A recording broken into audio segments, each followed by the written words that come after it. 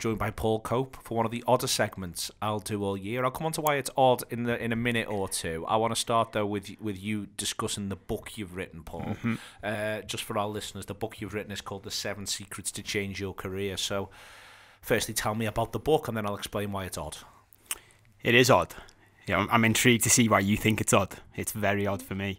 Um, so there's a long backstory. The, the short story is I, I actually I went on a course and they were talking about on the course how we've all got knowledge inside our heads that's valuable to other people. And yeah. as I was sitting there, I was thinking, well, the one thing I've got that's extremely valuable, possibly to other people, is what I've done over the past few years, which you have. I was thinking about this earlier on. You've you've witnessed this firsthand. This is why it's odd. Yeah. So, for people who don't know, I've gone from being a corporate lawyer working well first of first of all working for big corporate law firms and then setting up my own company so I was working 100 hours a week ridiculous days stressed out my mind and just completely transformed it and changed it. So now now I work 20 hours a month possibly. I was actually t- I was telling someone about it a few weeks ago and I said it's incredible really. I've gone from 100 hours a week to 20 hours a week. And they were like god that's good isn't it? And then I said oh, no sorry I mean 20 hours a month which is just even even saying it now sounds incredible. It doesn't doesn't really make any sense. But um, the book is about that. So it's about my story of how I did it, and then it's a guide effectively of exercises that you can go through that shows you how to do the same thing if you would like. And the reason why this is odd is I've sort of, in part, as your friend, lived this journey with you a little bit, and that's why it's quite strange. Like I feel as though I'm not, I'm not going to say I'm a character within the book. I'm obviously not, but there's been like this. It, it's quite strange to have the idea that someone's telling a specific story that you've also witnessed as it's gone through, and you. And mm-hmm. this is, it's not an exaggeration to say that when you had your own firm, you were employing a number of people, and you were feeling no more or less successful than at any other party of life. It's important to say more or less. It wasn't like it was one or the other. Mm-hmm. But the big issue wasn't a, it wasn't a question of success. It wasn't a question of how you measure that success. It was simply a question of your own personal enjoyment.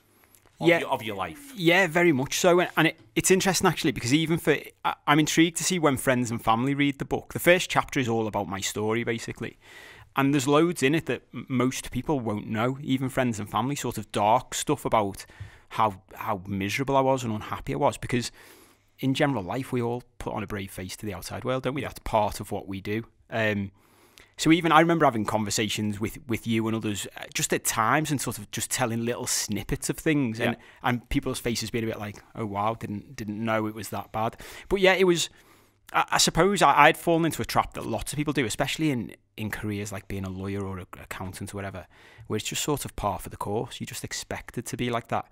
And I, and I, I mean, I've always looked at the world a little bit differently, and I was sort of sitting there thinking, there's got to, it's got to be more than this for the rest of my life, because it was, it was, you know, it was, it can be quite a soul destroying job to do, and when you've got that much stress and you're working those hours, you, you can get to a point where you're like, well, what's the point in any of this? You can make money, but money ultimately doesn't really do anything for you if you're if you're miserable. So, when you when you look to to escape that as part of that journey, was one of the most difficult things almost taking it step by step because it's important again for listeners to know that you took it step by step mm-hmm. you didn't for instance not go to work one day and shut the law firm you didn't do that yeah. you didn't decide that you weren't going to take on any other ventures. In fact you've set two or three up in the last couple of years. Yeah. it wasn't the idea and i think it's really important for listeners to know that it wasn't the idea that you just basically closed the door on the world and went that's that or even did the other thing i know you're going to do a little bit of this very soon but you didn't decide i'm just going to go travel and i'm going to drop out. That's not what the journey is really. That's not what the book's about. No and i think that's really important. There's a, there's a part of the book about this. I, I think people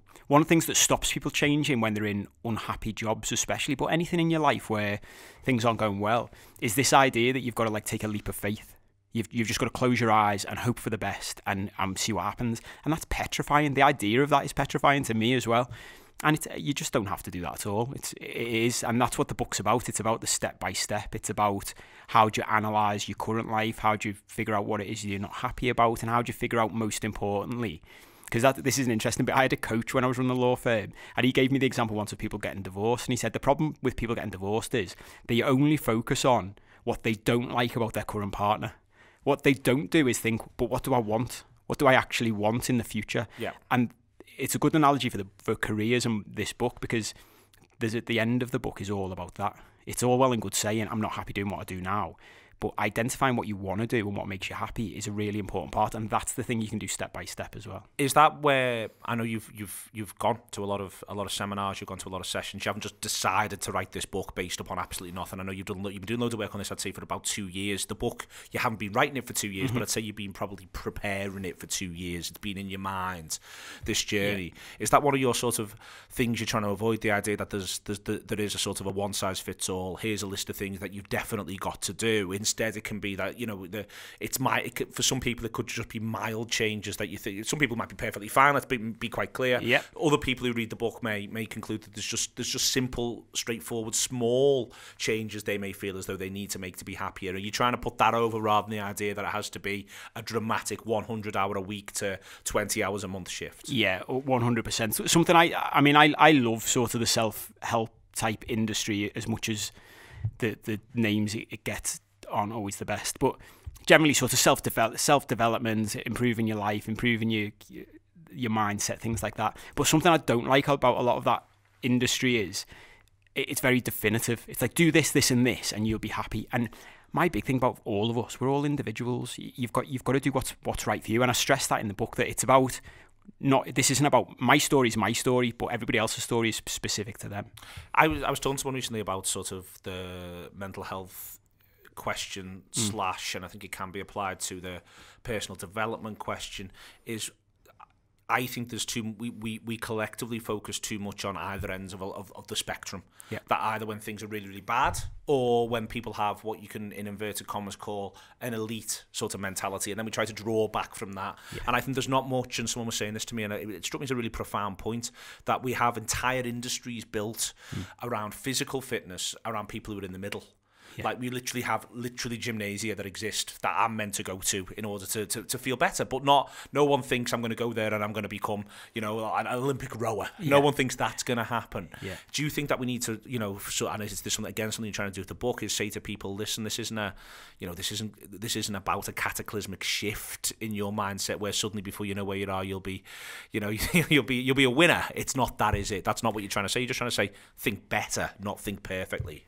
Oh yeah, well, one of, one of the big sections in the book is about perfectionism, and I, I, was raised a perfectionist and was a perfectionist for years, and now I'm a reformed perfectionist. So I'm like a I'm like a smoker who has stopped and is now like a warlord. You know, my my dad was one of these people, smoked for years, then stopped, and was just horrendous to be around anyone who smokes. I'm a bit like that with perfectionism now. I just think it's I think it's a disease. It's ridiculous perfectionism will just make you unhappy.